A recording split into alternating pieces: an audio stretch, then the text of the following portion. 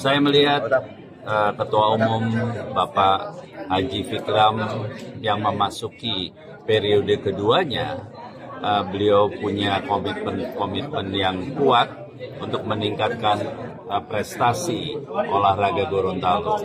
Mereka sedang persiapan sekarang untuk prapon atau babak kualifikasi Pekan Olahraga Nasional dan tahun depan akan mengikuti Pekan Olahraga Nasional ke-21 tahun 2024 di Aceh Sumatera Utara. Besar harapan saya dengan Gorontalo fokus pada beberapa cabang olahraga unggulannya, mereka akan dapat peringkat yang lebih baik dengan perolehan medali emas yang lebih dari yang selama ini selalu didapat oleh atlet-atletnya ke depan punya potensi lebih besar dan dapat medali lebih.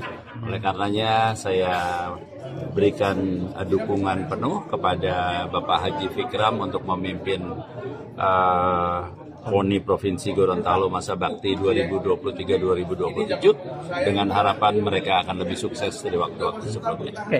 Ya, Alhamdulillah hari ini kita baru saja dilantik oleh Pak Ketum dengan persiapan-persiapan menghadapi prapon.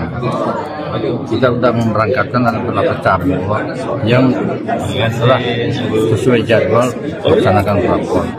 Informasi terakhir yang kami terima, sudah ada dua cabang olahraga yang lolos. Insya Allah kita lebih banyak cabang-cabang olahraga yang lolos ke sehingga bisa memperoleh medali yang lebih banyak.